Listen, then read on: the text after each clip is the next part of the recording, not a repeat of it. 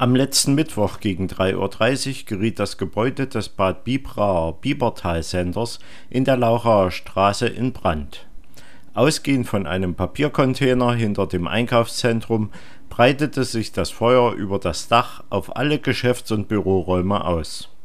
Ein Übergreifen der Flammen auf einen angrenzenden Supermarkt konnten die Feuerwehren aus Bad Bibra und etlicher umliegender Ortschaften verhindern bis in den Vormittag hinein waren 80 Feuerwehrleute aus sieben Wehren mit 16 Fahrzeugen, unter anderem zwei Drehleitern, im Einsatz, um das Feuer zu löschen.